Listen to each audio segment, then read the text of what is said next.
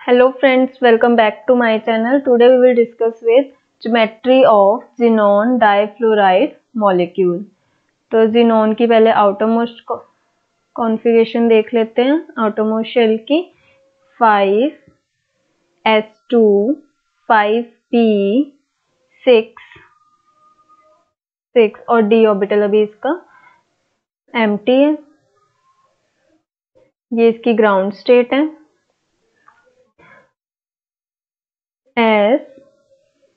P orbital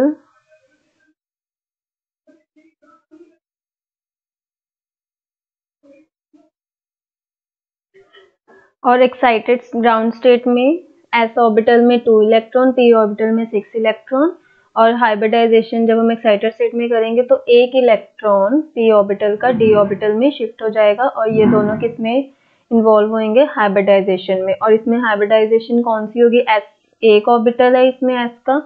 P के three orbital involve है और डी का वन तो S P three D hybridisation hybridisation और इसके साथ क्या लग जाएगा? फ्लोरीन ठीक है जीनॉन डाइफ्लोराइड हो गया। अब इसकी हम शेप देख लेते हैं, कैसी शेप होएगी। हाइब्रिडाइजेशन होगी s p three d hybridisation shape है इसकी जिनोन ये एक्सियल पोजीशंस पे लगेंगे फ्लोरीन एटम और थ्री इसमें लोन पेयर हैं एस ऑर्बिटल पी ऑर्बिटल में टू ये लोन पेयर हैं।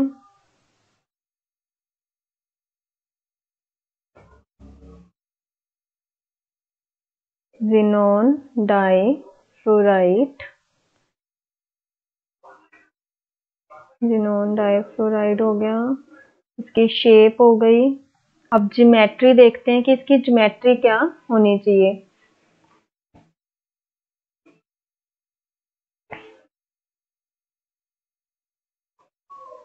ज्योमेट्री इसकी मतलब लीनियर स्ट्रक्चर होगा, क्योंकि जो लोन पेयर है एक्सल पोजीशन पे तो एफ़ है फ्लोरीन तो this is called linear structure